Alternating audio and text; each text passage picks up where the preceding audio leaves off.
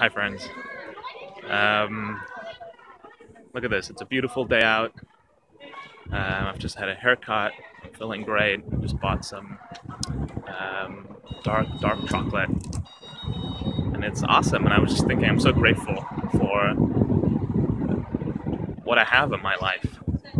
And um, I actually started uh, keeping a, a list of what I'm grateful for yesterday um, I, I used to do it a while ago when I, I think when I first watched uh, Shawn Achor's TED talk about uh, positive psychology, and he says, you know, it makes you happier to, to, to take time every day to, be grateful.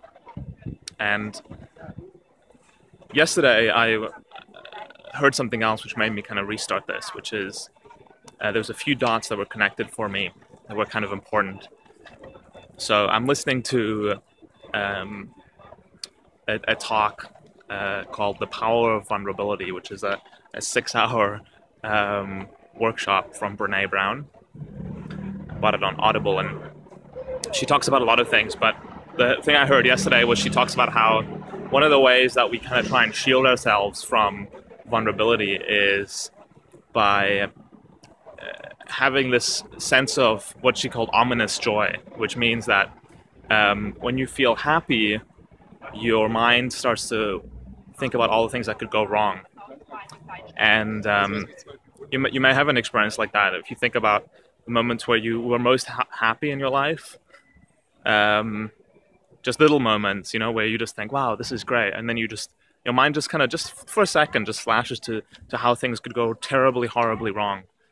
And um, that's called ominous joy. And she and Brene says in her research she found that almost everybody does this. Almost everyone.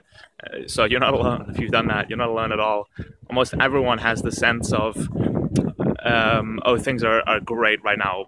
What's gonna go wrong next? You know like oh shit it's too good. You know.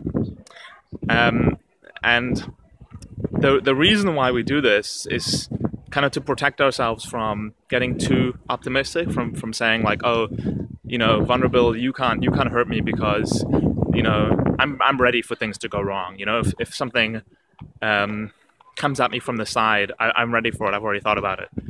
Except of course that you can't you can't ever be ready for for something terrible to happen, for tragedy to strike. Like you, no matter how much you've thought about it, you're not going to be ready for it. So you're just turning something that was great into something that was sad because you're thinking about tragedy even though there's none there. And then the other thing she said was the, the reason why it's so easy for us to do that, you know, 150 years ago, it wasn't so easy for us to, to jump to tragedy and visualize in graphic detail how things could go wrong. And of course, the reason is because look at our media landscape. We're bombarded with um, pictures, text, but mostly graphic images of, of violence. And of course, our, our minds can quickly recall how uh, tragedy can strike. We can we can visualize in an instant what uh, what that looks like.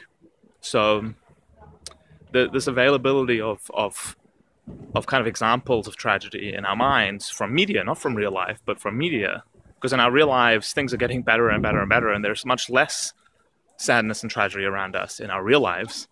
But in the media, there's more and more. And so, of course, our brains have access to those images.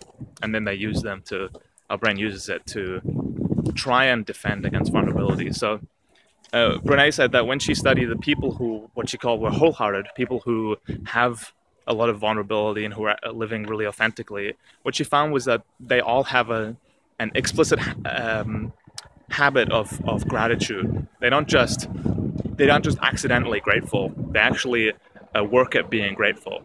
And she said that makes sense because if we were so bombarded with these media images of, of, of, tragedy, then of course we have to work at being grateful for that, for, for our brains not to default to that.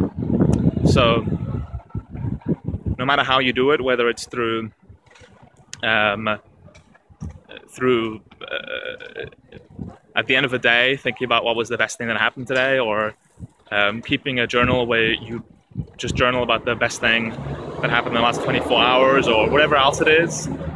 Um, it's so important to keep that to keep that journal of gratitude. Um, and um, yeah, that's all I wanted to say today. I hope you're enjoying a beautiful day as well, and I'll see you tomorrow. Ciao.